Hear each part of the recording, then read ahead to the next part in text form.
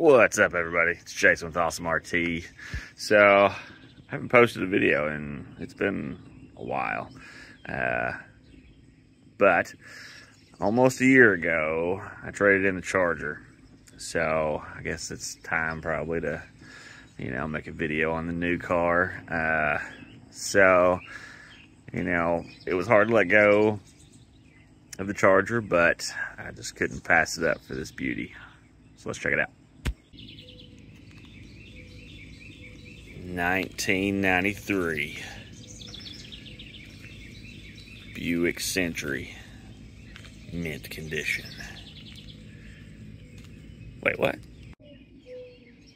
I don't think that's right. Let's try that again. That's better.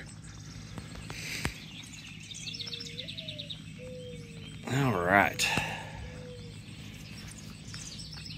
So I went with a Challenger, which I mean my header image has been Challenger for a little bit now, but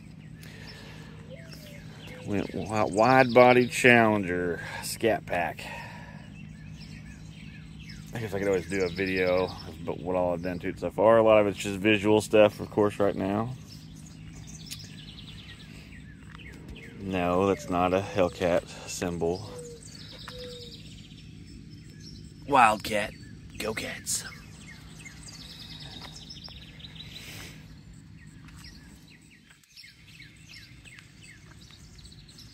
She's a little wet right now.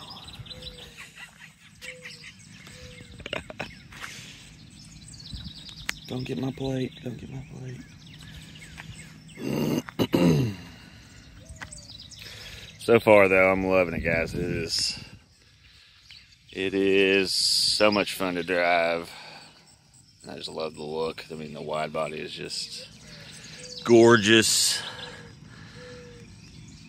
Gorgeous. I was really torn between, you know, trying to get a Hellcat, you know, obviously just to have a Hellcat. Um, but I was just so adamant on the wide body. It was a, it was a must.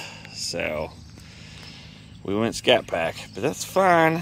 You know, got you know some performance mods done already, uh, just a couple, but we'll be doing some more hopefully pretty soon. But overall, I love this thing. Beautiful car. Got to get me some new pads These stock pads just brake dust. It's terrible. Can't keep them clean. All right. Well, that's it, guys. That's my baby. That's new car on the channel. I mean, I've had it for almost a year now, but you know, uh, we'll start getting some content out and keep you guys updated. All right, it's Jason with Awesome RT. Y'all have a good one.